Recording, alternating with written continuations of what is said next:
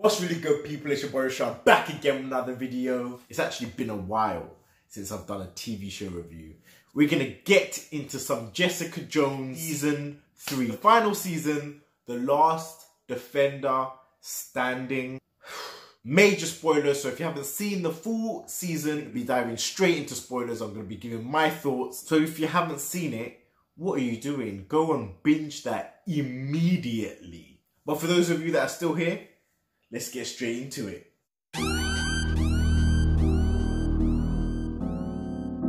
In this season of Jessica Jones, Jessica and Trish, who is now trying to be a superhero also, face off against a genuine evil serial killer. He's not superpowered, he's just very smart, very calculating, and he knows who they are. So it goes without saying that Krysten Ritter, the actress that plays Jessica Jones, absolutely killed it. She kills it every season, but this being the last time that she's going to be playing this character, it really showed in her performances. She gave it her all. She didn't phone anything in. And I could not ask for a better Jessica Jones.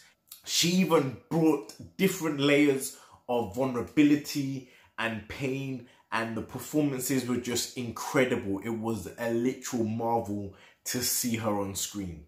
A few fan favourites do come back and make a return. So you've got Malcolm, Hogarth, and Trish. Oh, I'll go a little bit deeper into Trish's character and, and her story arc this season a little bit later. I hated her last season. I completely hated her. She was a terrible person, a terrible character, and I didn't understand why she was doing the things that she did. This season did a lot to sway me towards Trish's side. I finally understood her motivations, why she does what she does, why she is who she is, and everything in between her thought processes. I completely get Trish now. Let's just say she had an interesting arc this time around. Eka Darville, Eka Darville, I'm not sure if I'm saying that right. The actor that plays Malcolm, he had an interesting arc too. Working for Hogarth now as a private investigator, he's very good at his job and you can see that he's starting to go down a dark path where he doesn't really know what's right and what's wrong and he doesn't really know if he's the good guy anymore.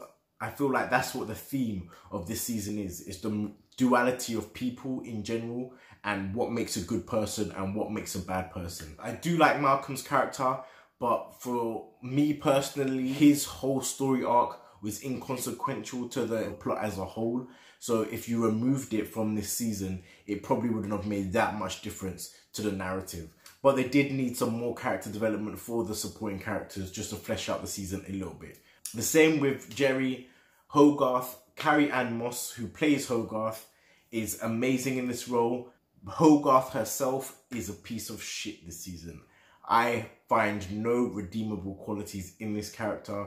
She's been going down the wrong path for almost three seasons now. Every time you think she's going to redeem herself, she does something worse. And I feel like she's done the worst of the worst in this season. She's very selfish, very controlling, and she doesn't actually get any sort of comeuppance. Which really annoyed me. The only consequences to her actions is that she didn't really get to stay with the love of her life, but you didn't see her die because of her illness or anything like that. And I feel like that would have added an extra dynamic to her character or at least offered some form of redemption for her. But we didn't really get that. This season also introduces two new characters who I absolutely loved. Firstly, we have Benjamin Walker as Erik Gelden. Apparently he plays the character Mindwipe from the comics. They put a whole new spin on his character, which I enjoyed. He has the power to feel people's darkness, basically. Evil people give him headaches. They physically hurt him. They make him sick. If he's around really bad people for extended periods of time, his eyes start bleeding, his nose starts bleeding. And I found that really interesting. He's very selfish. He's extremely, extremely similar to Jessica. And he drinks a lot. He doesn't really care about anybody but himself. This harkens back to what Jessica was like in the first season. But he has a really good reason for not using his power for good. And I enjoyed the fuck out of his backstory and when he explained what happened with him. It really shows you that being a hero is not all it's cracked up to be. And that's also one of the themes of this season. Just trying to prove what a hero is and isn't. Jeremy Bobb plays Greg Salinger, Gregory Salinger, the Fool Killer in the comics the serial killer and the main big bad villain of this season. And he was amazing. He was a great foil for jessica. Whenever he was on screen he was intimidating. He was creepy. He just wanted to purge people that in his mind were cheating. People with natural gifts, natural talents that wasted it or used it to take advantage of opportunities that regular hardworking people couldn't have. Those were his own insecurities, but he was taking it out on the world. He especially hated superpowered people because he saw them as actual cheaters. Like they were given these gifts, they didn't have to earn them or anything like that. And they were just using them and abusing them. And he hated that. But he was a great villain um, he was in most of the season and every time he was on screen, he was captivating to watch. But the way that the serial killer is introduced and the way that they play out the episodes and the events that happen in the first couple of episodes to introduce the main villain was perfect. I feel like it was like a murder mystery. It was a whole puzzle to solve to find out who this killer is and what he was going to do next. That carried over for the whole season because they were constantly two steps behind. Trying to capture someone and put someone in prison is much harder than going out and killing him.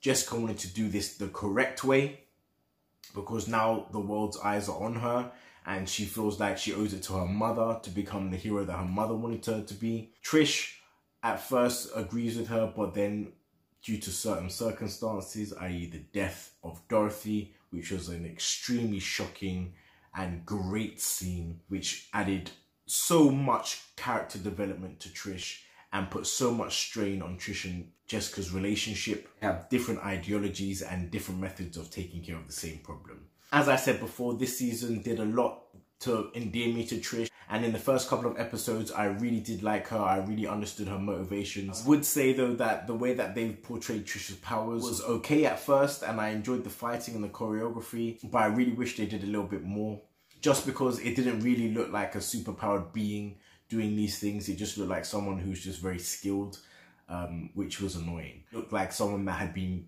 doing free running or parkour or even like fighting for a long period of time could have done exactly what she did. But at the end of the season, I do feel like Jessica has finally made peace with what she wants to do and who she wants to be. I feel like she had a great arc this season. It was a great way to close the book on her character. The fact that Trish started this season as a hero or an aspiring hero and ended this season as a villain being shipped off to the raft, never to be seen again, was more tragic than shocking. It made perfect sense. The way they executed it, as I said, was flawless and I wasn't shocked that that's where she ended up. It seemed inevitable after a point, and it was just sad that that's what happened because even when she realized that she was the bad guy, something broke in her. Someone who's trying so hard to be a hero, it must have the realization that she is actually the thing that she hates most. It was heartbreaking. It was heartbreaking props to all the performances by all the cast because this season was amazing. I will rate Jessica Jones season 3 a 10 out of 10. It was just as good as the first season. There were some storylines and some story arcs that could have been removed to make it a shorter, more concise season, but I feel like those are just personal gripes for me. This season was amazing, and for the last Marvel Defender show, it was a great way to close the chapter on this saga.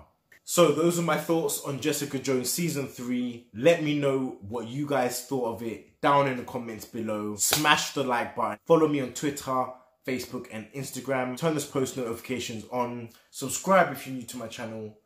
And as usual guys, I'll see you in the next one. Peace. Taylor about the fucking flex.